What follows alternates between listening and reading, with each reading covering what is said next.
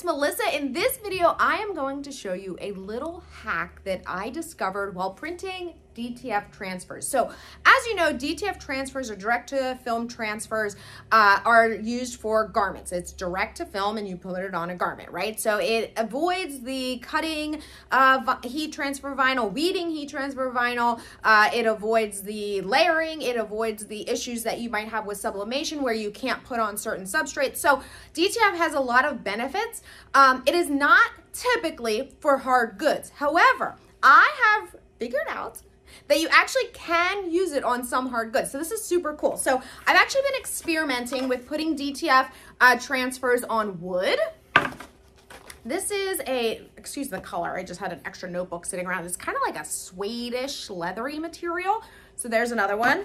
Uh, here's another little wood one okay? And then also canvas. So obviously canvas is fabric. The issue that you're gonna have with this is the back. So you do need to put something in the back. Now I'm gonna show you exactly how this works uh, so you can do it too because this is just another way to use DTF transfers. And the reason that I really like this is because these are not handled a lot. You don't have to worry about laundering. You don't have to worry about is it gonna peel up or is it gonna rub off. Most people are not sitting there, you know, picking at this. Although it is very secure on this canvas and on this wood, I just want to let you know that, you know, for the most part, no one is sitting there. Um, that these types of signs and whatnot don't get nearly the handling or the use that something like a shirt would that is getting put into the laundry or worn over and over again. So this is a really great option for DTF, whether you have a BN20D or a Uninet 100, uh, a Prestige, an Epson uh, F2100. This can all be done uh, with this, those DTF printers. Okay, so you're just gonna print your DTF transfer like you normally would and apply the powder uh, just again like you normally would. You're gonna put the DTF transfer in your curing oven 120 seconds for 120 degrees Celsius, okay? Bring it out. I have two here, so I'm just going to cut them apart. And then on these hard goods and the smaller type items, I actually like to use my Cricut Mini Easy Press. It does not take long at all. Too much heat and too much pressure is going to cause it to wrinkle and melt, and you won't be able to peel it off easily. But look at that, it's so cool. And if some of it comes up, you can just repress. But for the most part, it is really easy to just press and peel. Of course, wait till it cools because they're all cold peel just like normal. And look at those custom signs.